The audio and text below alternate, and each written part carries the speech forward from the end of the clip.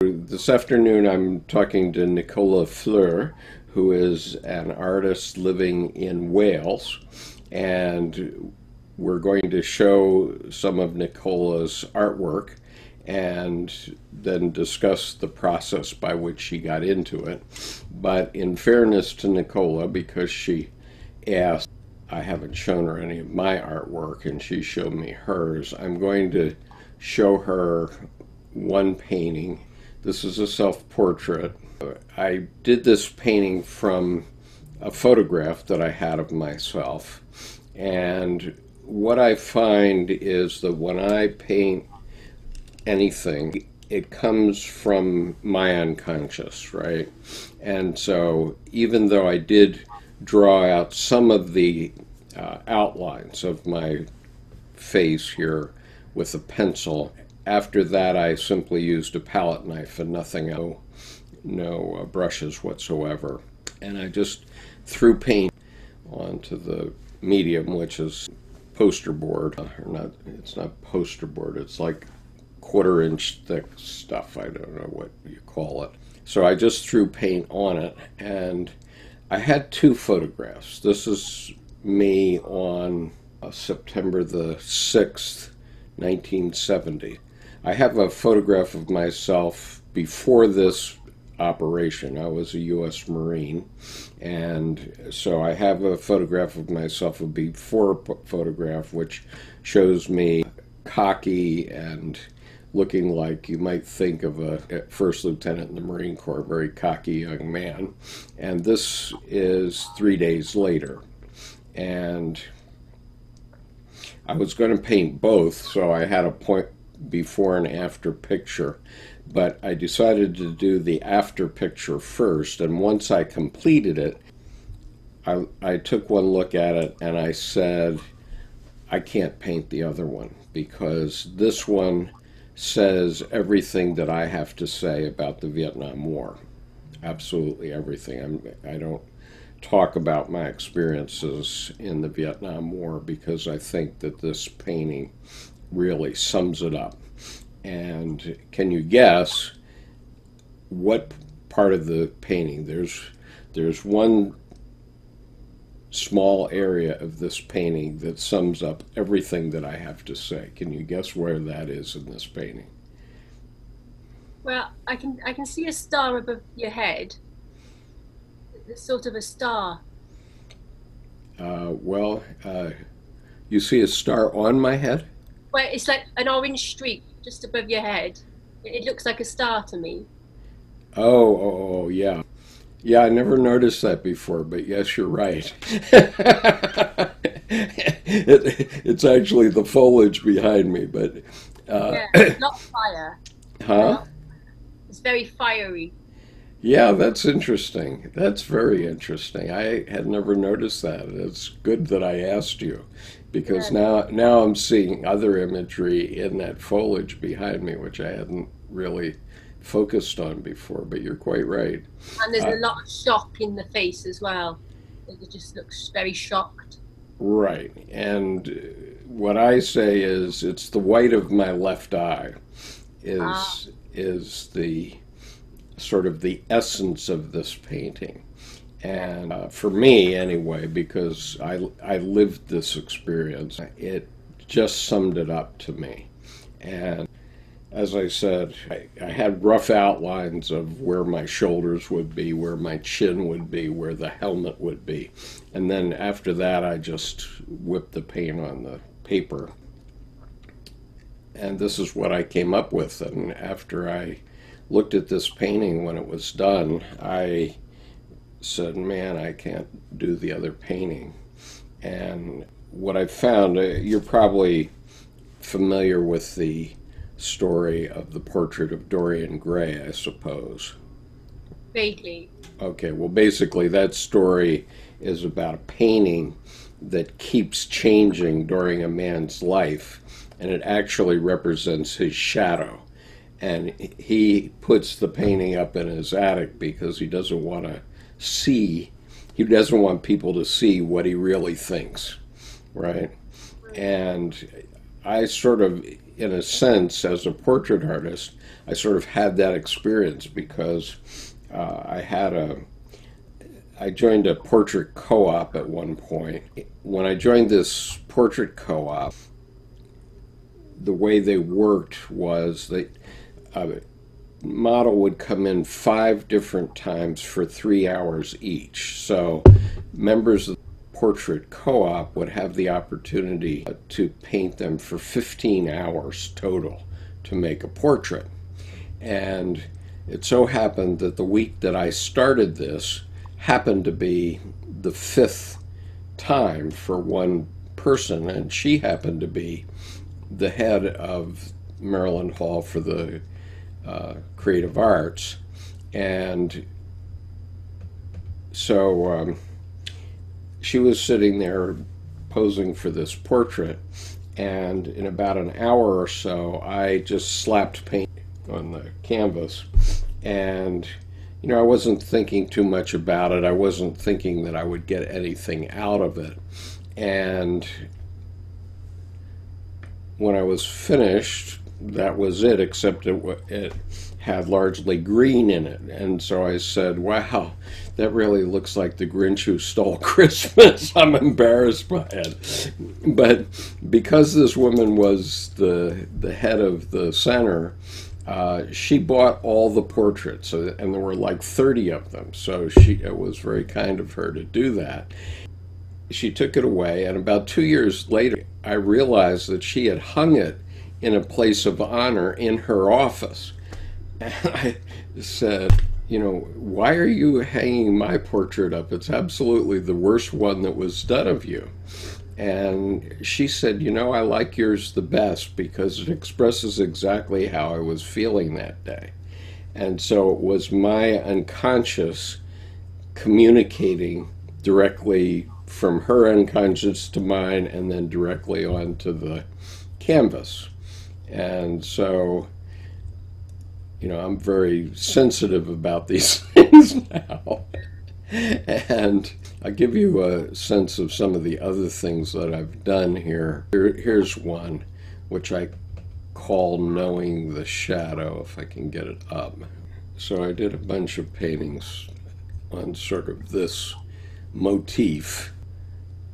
You know, I'll just leave it at that. okay. but the, the plate is a symbol of the self in Jungian psychology and the shadow. Uh, this is called knowing the shadow, and the the the male model in this is a black man and the and a white woman, of course, and she's wearing kind of a a slave collar there on her neck. The shadow's coming from behind, then. Yes, I call this one the, the high priestess. So this is my version of the High Priestess from the Tarot. So half is in darkness. Yeah, and the, all all of those paintings for that show were black and white. They were definitely from my shadow side. Let's put it that way. I've always appreciated artistic skill that can create form because for me, I've never been able to create form. I haven't you, got that kind of skill. You haven't been able to create form, you say? yeah, as in portraits, landscapes, all I can do is abstract. I, I just find uh, form unobtainable. So I really value it in other artists. I see. Well, I, I mean that's perfectly fine. Of course, that's just the art artwork that supports you. So here's one more. But I stopped painting because I said, okay, well, this is all bringing my shadow up. and so I had about 35 or 40 paintings in the show that I did on April the 9th, 2005. It was interesting because I thought that fundamentalist Christians might picket my show because I had advertised it at a local pub, and so I thought people might picket. But they didn't. No, nobody did, and they came to the show, and within five or ten minutes, uh, this mood of euphoria came up in the room, which was very unexpected. And, now I understand it better uh, from my study of Jung's work that what I was doing was releasing everybody's shadow so that everybody was looking at it and saying, wow, this is pretty interesting. And then everybody's shadow got cooking and there was euphoria in the room. Yeah. Is this one Dracula then? Pardon? Is this one Dracula? No, I call this one Surrender. And so here she's surrendering to her shadow. Most people are not comfortable around the shadow. Yeah, but I don't think they really knew that it was the shadow. you know, even even I was, even though I had studied Jungian psychology for a long while and knew a lot about it at that point. After that, and about that time, I got very in, interested in abstract art because I went to the Boston Museum of Art one time and I came upon a Jackson Pollock drip painting, which I hadn't expected. And, you know, art doesn't usually move me that much when I go through a museum. I mean, I know there are people who go through a museum and are moved to tears constantly. That rarely or almost never happens with me. But on that particular day, I came upon a, a, a, real Jackson Pollock, not a photograph of it. And I began to sob, and I didn't know why. And it took me uh, 20 years to know. And it happened uh, when I was running one of my Jung meeting groups, reading group sessions, that I described this painting, and one of my uh, members who's who is an artist uh, just said olive drab, and boom, I got this connection to this piece of artwork, and it, it again caused me to sob, and I knew that my connection was correct, which was that it connected me up with the death of a, a, very good friend of mine in Vietnam. But that was completely unconscious for 20 years. I, I knew I had had the experience in the Boston Mu Museum of Art, but I didn't know why I had had it. And that's a lot about me, but we were going to talk about you. So, are, are you stunned, shocked, or what about my art? Just out of curiosity. I can see there's a lot of um, passion and a lot of emotion, especially in the first one. Right. A lot of shadow. Well, yeah, I mean, in, in the in the art show, there was lots of shadow, no doubt about it. And so I think I have all of your paintings up on my screen at the moment. So would you just tell me the name of one you want to talk about, and we'll pull we'll pull that up and share it. Uh, elemental. Okay, so this is your painting called Elemental. And so tell me about this painting, Nicole. Uh, I did this, this is the very first painting I did, uh, which was about 11 years ago. Um, and it was triggered by um, a painful, uh, emotional crisis to do with a relationship breakdown. And um, it just got me questioning uh, why I'm feeling these emotions or you know things like jealousy and anger.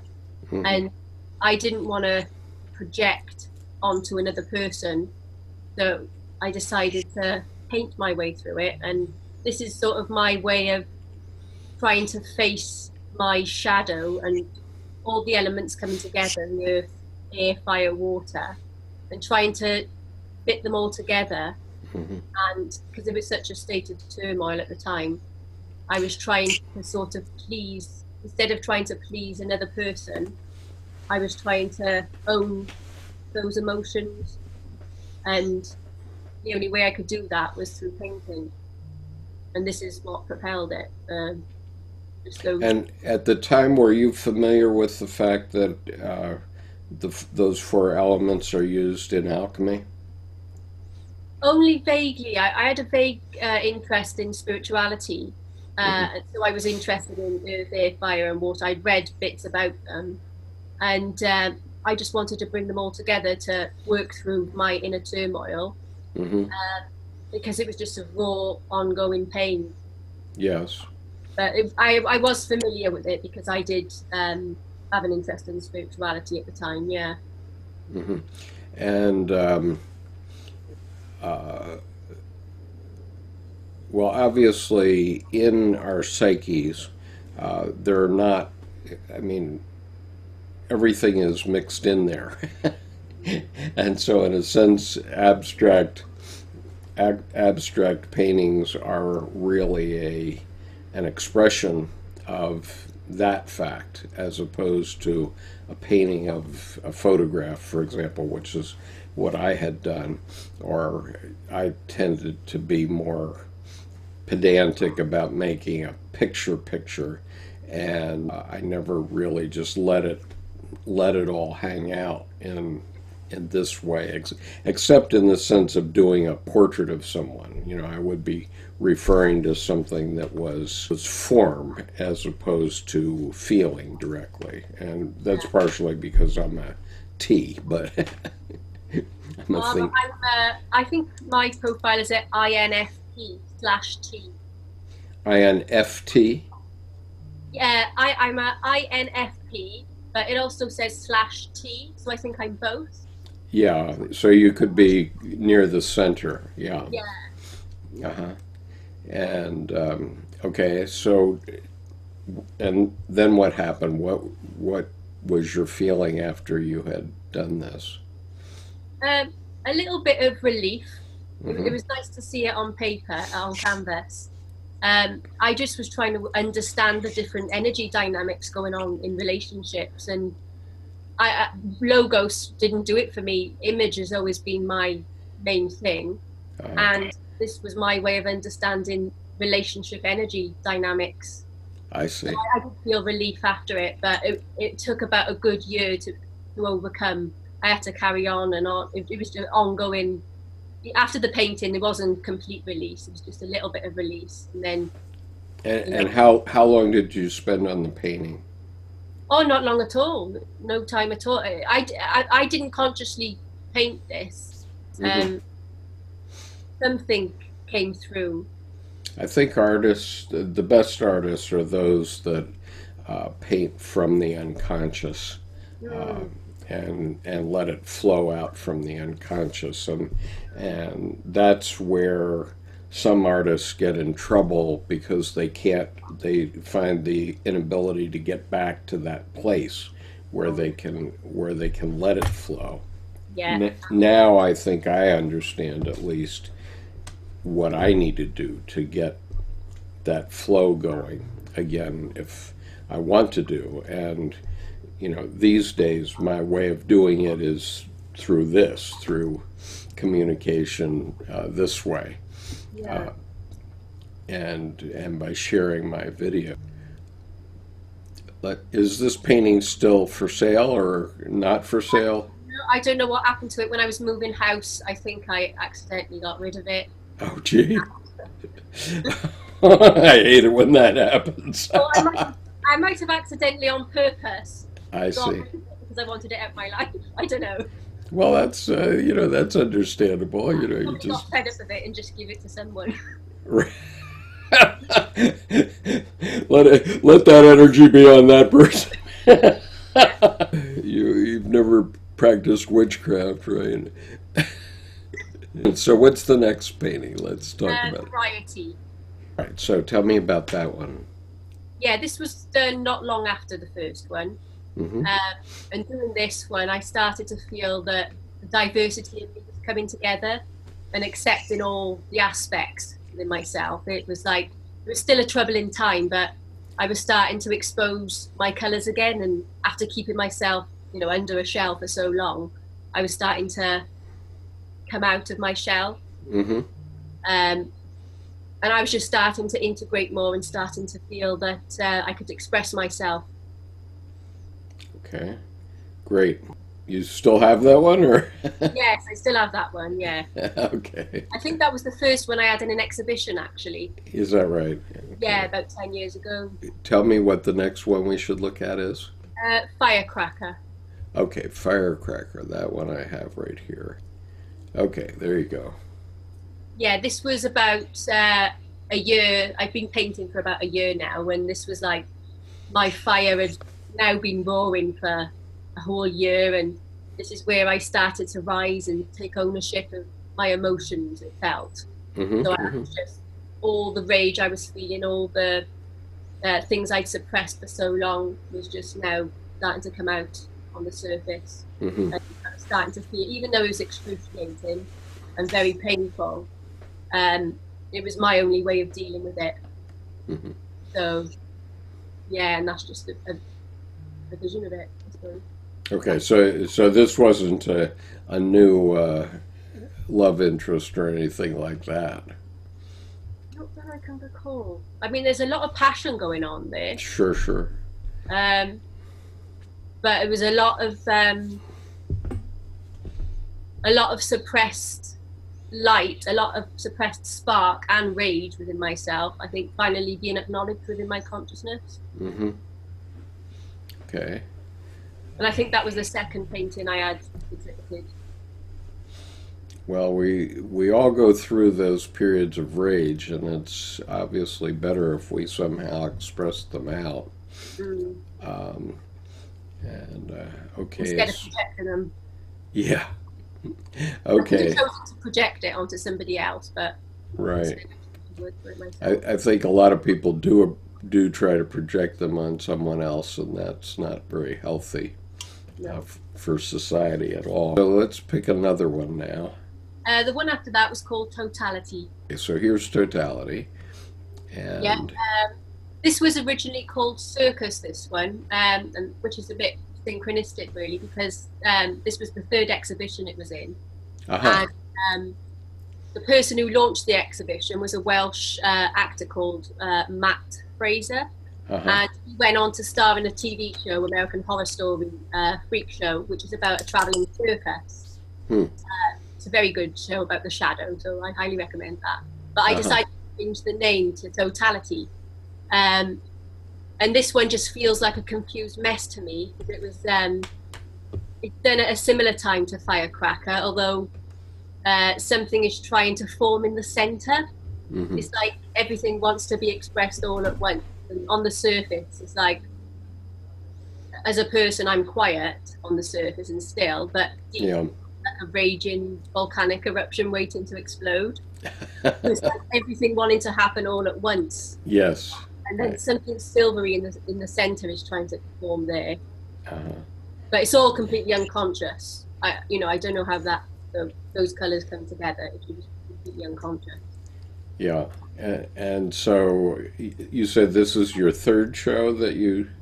Yeah, that was the third. Uh, But I found it really difficult to turn up to those exhibitions, especially this one. I just went completely mute and introverted. I couldn't speak to anyone because I just felt really exposed. you, you you said you couldn't speak with anyone at the show, or Yeah, I just went mute, completely mute. uh huh. I just felt really exposed. Yeah, I can understand that. I, I invited all the Jungian analysts in the Washington area to my show, the one I was showing you a few samples from. And I have this terrific picture of me with uh, Jean Shinoda Bolen, who's famous for uh, goddesses in every woman and gods in every man. I did a second show in Greenwich Village, believe it or not. I had Miss Universe attend it, complete with sash.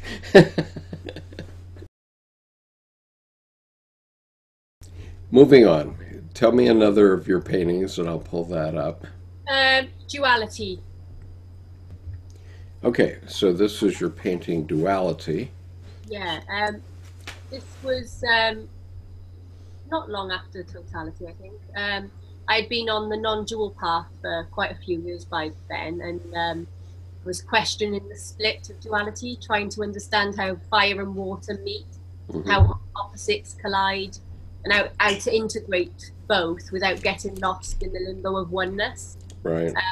part of my individual individu- individuation process um, now is coming away from non-duality because um, I think could, you can get lost in it, Yeah. um, and I think it can be just as dogmatic and you can be judged for developing your ego. Yeah. You, you really need to keep duality going, but you need to rise above it. Yeah. In, in a way. Uh, and um, and so, how, how would you describe your in, individuation process as as it was going forward? At what point did you realize you were doing an individuation process? Oh. Not until, um, not consciously, until fairly recently, the last couple of years. Uh huh. Two, three years maybe. I Yeah. wasn't conscious of it at the time I was painting at all. Okay, so when you paint, and did you call it duality at the time, or I did, yeah, um, because I was into non-duality, uh, and I, I wanted to merge into the oneness. right? So you wanted a conjunctio, Yeah, there was it was just wanting to merge, and right? Okay, it's only now looking back I can understand. and what were you were you trying to uh, express emotions at this time or not? Uh, I was trying to create form, I think, as well. I, it's sort of water and fire. Mm-hmm. I, I was trying to create form, and I, I just felt like a failure. I, I felt like I, I couldn't succeed at creating form, so all that came out was this colors together. Right. I always felt like a failure. Oh well, it, I mean, a lot of these are very lovely paintings, uh, very interesting, and it, it just depends whether they move someone or not. I mean, what I what I find with paintings uh, uh, is that they either move me or they don't. I, I like images uh, very much. Let's talk about another one. Volcano. Volcano. There it is. yeah, this was me trying to find my place in the world, and yeah, I felt continually misunderstood as an abstract artist. Um, Mhm. I feel that abstract art can only be understood by those who have consciously faced their shadows and allowed themselves to be overtaken by the unconscious. hmm But not many people understand this kind of art at all. Well, that's right, and certainly C.G. Jung didn't understand it, at least not at first. I think later on he he got it, and he was. Are you, are you familiar with the paintings in the Red Book?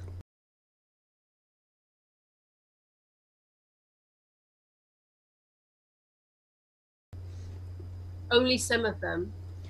Right. You know, he was quite an accomplished painter, but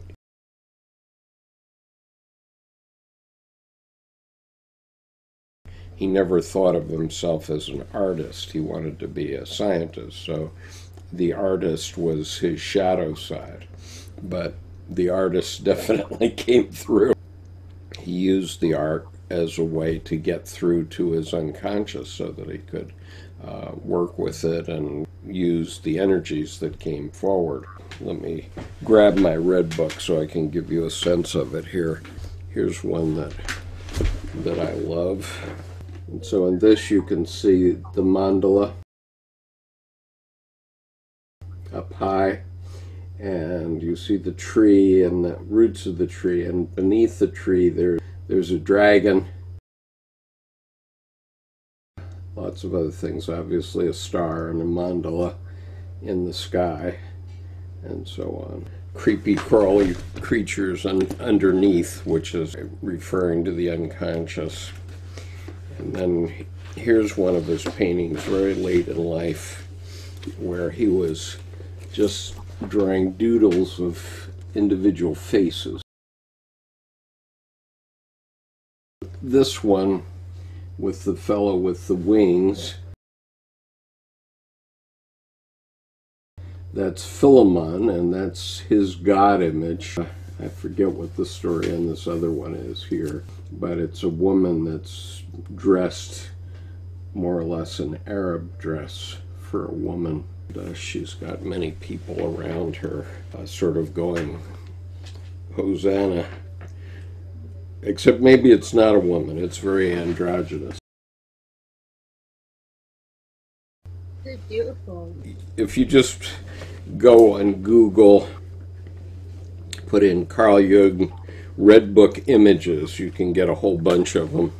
Yes, I looked. There are people that are selling giclée versions of them, just to give you a sense of his work. So he obviously was working artistically, bringing things up from the unconscious for many years.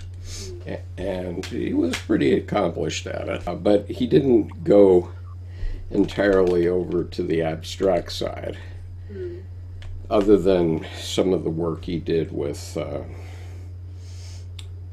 you know, shapes and that sort of thing. But anyway.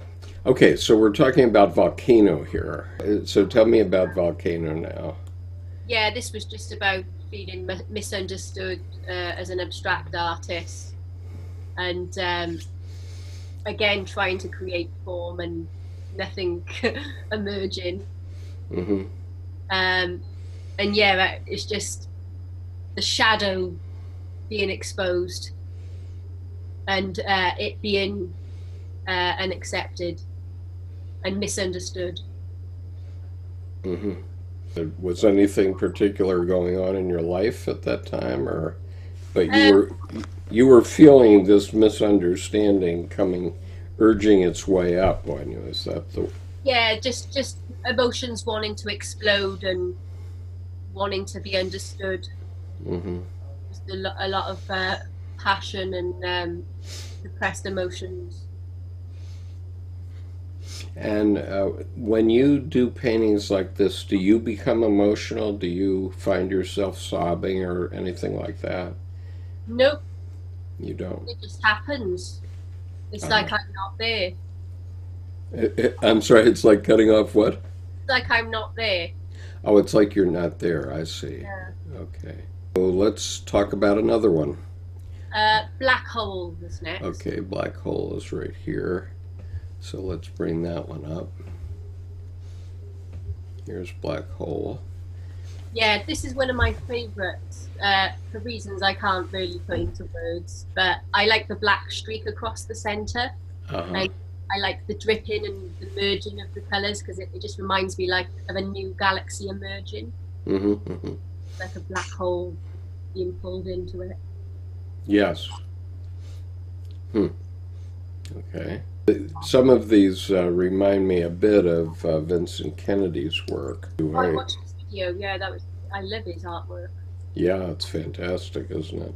But this is this is very nice, and obviously it can be attractive to people. Are are you still having regular art shows, or how are you? No, um, I've had a very dry bout. Um, I'm in a drought at the moment. uh, Uh, well, pa- painting wise, but uh, I'm ve- very creative now with the words. I'm more into the poetry side, hmm so I'm developing other parts of my creativity. Yeah, great. I've been there too, so I I know the feeling. I mean, I did those. I did three art shows in 2005 with the work that you saw, and then I haven't touched a brush since then. Believe it or not.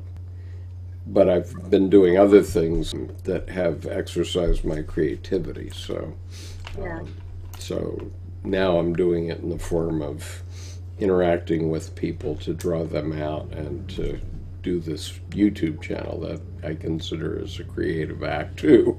Oh, absolutely, yeah. There's Uh, many ways to channel it? Yep.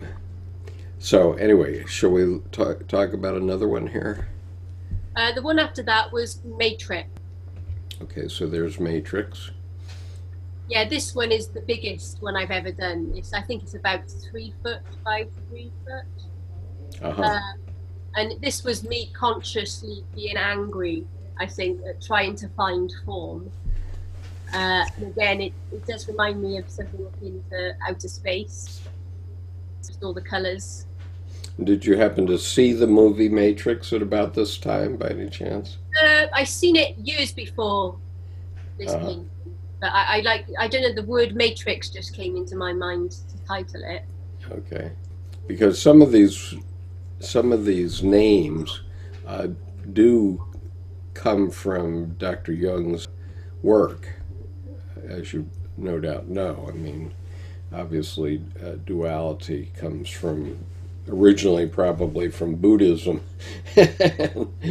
or Hinduism, I don't know which, but you know, he was always talking about the opposites.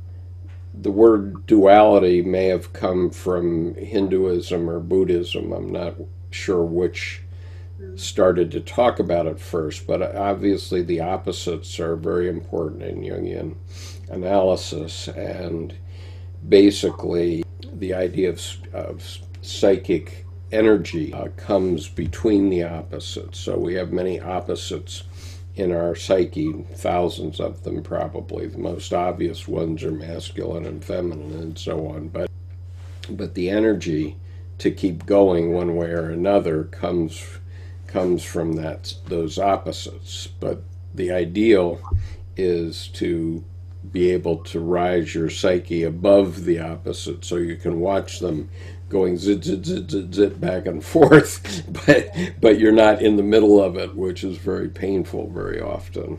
Yeah. Uh, this image sort of reminds me of that. The psychic energy is is forcing its way back and forth across the uh, canvas. I can see all the energy pushing back and forth, and you know it's it's not that any anything is good or bad per se, but it's that you have opposites and if you can if you if you know there's a matrix and you can put it on your wall as as you have it there then you can maybe detach yourself from the matrix and just watch the game going on but be above it. And that would be a higher plane of spirituality i think. Okay I like that one. I that's a, that's a very interesting one. So what's next? Uh, supernova. Supernova. Okay, there it is. Yeah, this is uh, another favorite of mine. Um, this was done very quickly, um, and it just feels like this was me saying move over. And I, I remember having to tilt the canvas many times and using a lot of water to get the dripping effects. Mm-hmm. But I, I just felt like uh, I was becoming more empowered within myself. Uh-huh. So you I, like I was consciously more engaged with it. Good for you. Okay. Yeah. Okay. That's very interesting. I do like that one too. I, I can't say, I mean, I like many of them now. I, since I've come to appreciate abstract art, I, I really like them. It used to be that I couldn't connect with them, but yeah. since since my experience with the Pollock, I uh, have rather liked it. Okay, what else? Uh, Milky Way. Okay. Yeah, this was done after Supernova, quite a while after. I had a was uh, this was done after supernova, quite a while after because I had a bit of a drought. But this is me trying to get a grip on form. Mm-hmm. Uh, I think there was a lot of frustration involved because I was trying to get into painting again.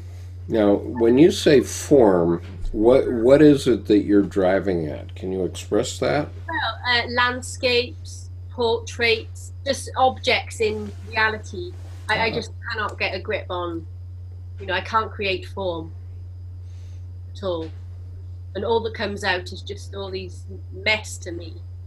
It's just mess. Which does express feeling, obviously, and and yes. and each person. I mean, I, you know, when when you see a painting like this, human beings tend to anthropomorphize, so they tend to see a form of a, of a body, or in this case, I would say a magenta angel flying above the earth, uh, raining down grace or something. and maybe down in the lower corner, left corner here, some people looking up at her, watching what she's doing. But I know that abstract art isn't intended to be watched that way, but that's what comes to my mind. So I think you're starting to get some form here.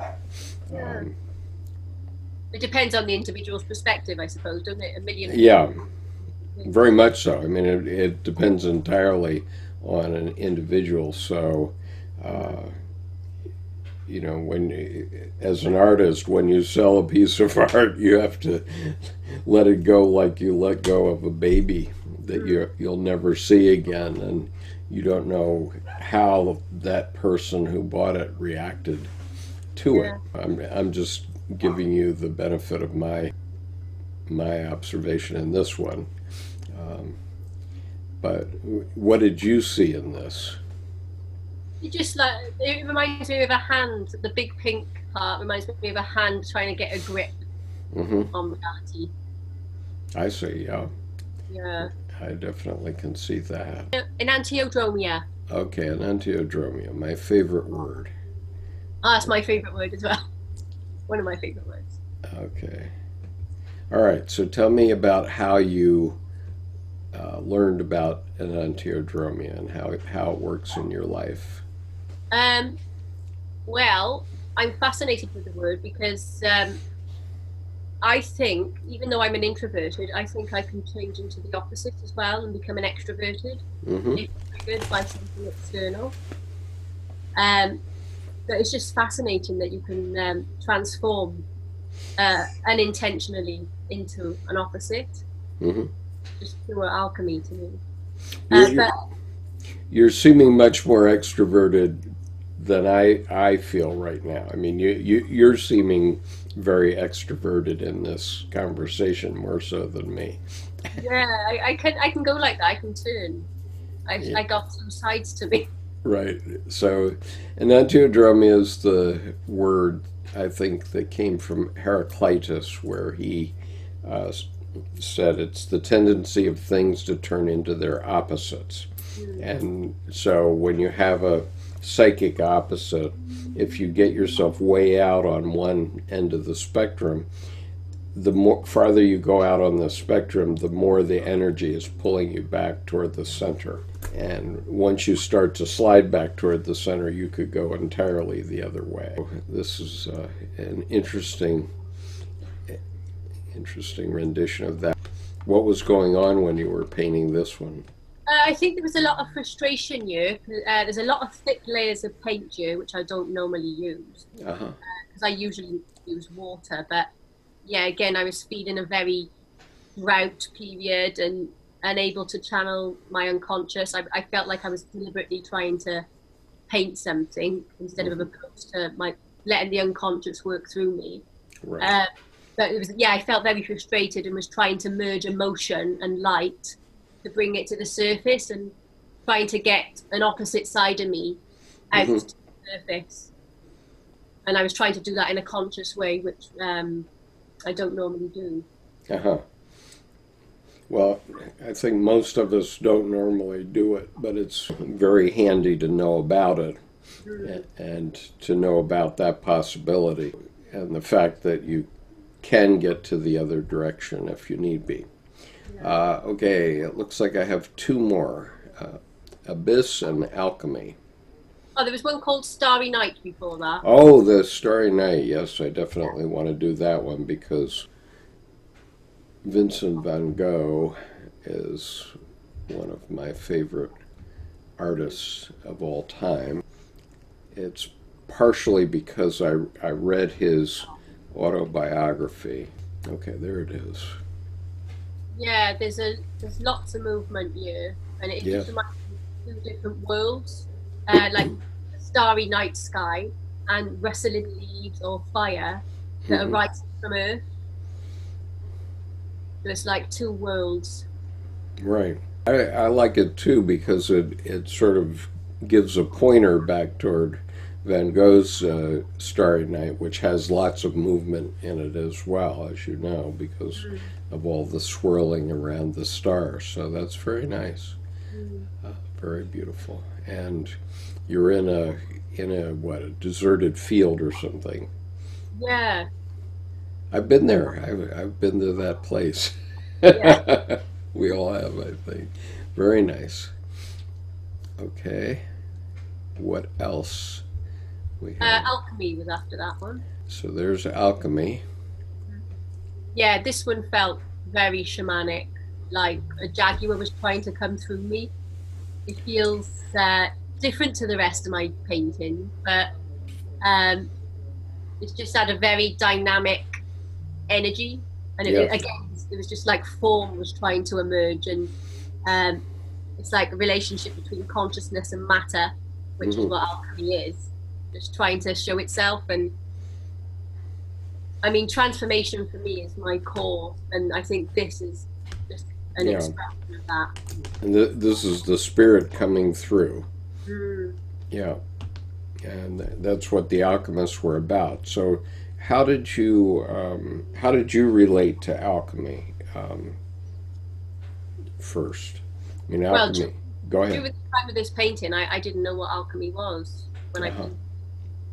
All I knew as I was just dabbing colours on and spot, trying to, I was trying to do things a little bit differently to my usual style with the dots. hmm It's like form is starting to come out a little bit more now in this one, Yes. but again, it was completely unconscious.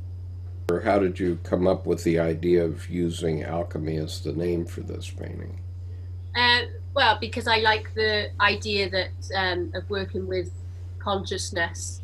I like the relationship between consciousness and matter hmm and the, transformation process Right. Yeah, and of course the alchemists were looking to find the spirit in matter. They wanted to. Their activity was to find the the spirit, and by that they meant the Holy Spirit in, in matter, and that's what they got going with basically with early chemistry. And you can almost see it here, where you know they were aware that uh, iron, for example, is magnetic, and and so it either draws two pieces of iron together or it forces them apart, whichever. And they considered that the spirit in matter, and I can almost I can almost see that spirit being expressed in this painting. Uh, that's interesting. One more is abyss. Okay, so this is abyss. Yeah, this this is one of the last paintings I did, which was about six years ago, and it coincided with me becoming exposed to Jungian thinking and um, getting involved in a dream group. Uh huh. Um, I started uh, about 2013, I think. I done a, a dream workshop with um, Coco Parr Turner, Mhm. and that's when I started to get exposed more to Jungian thinking, and um, but again, it was unconscious. Uh, I remember using an oak leaf in the centre there for the orange part and painting around it, Mhm. but then letting the rest paint itself. Yeah. I just started off with the centre with a leaf, and then just the rest just come out. Yeah. Interesting.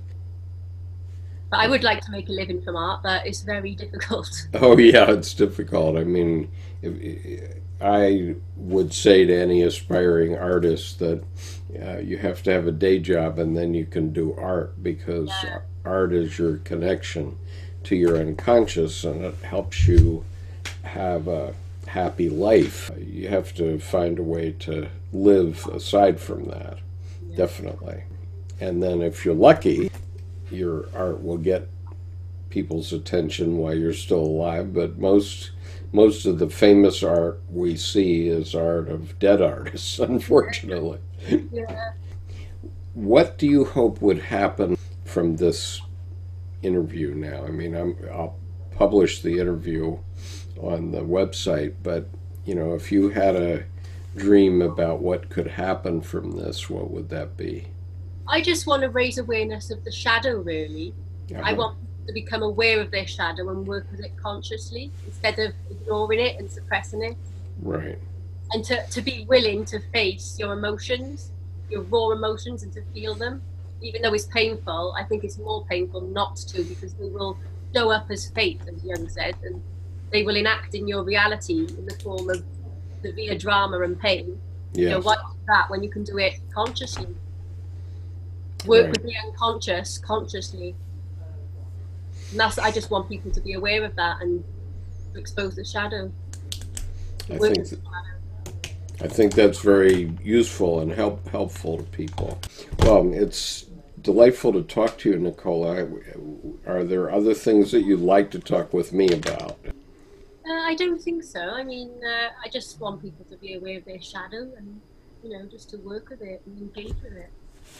Well, that's, yeah, that's very interesting. So I will, I will put that in somehow in the title. I think that's a, a worthwhile goal, definitely. Oh, I enjoyed chatting with you and seeing your art. So thank you for having me. It was, yeah, I loved it. Pardon? I love the discussion that we just had. Good. Yeah. I think conversation helps people, and if you can have, you know, especially if you're an introvert, as I am, uh, I know I have a hard time meeting people, and my wife would beat up on me and say, "You've got to get out. You've got to get some friends." And so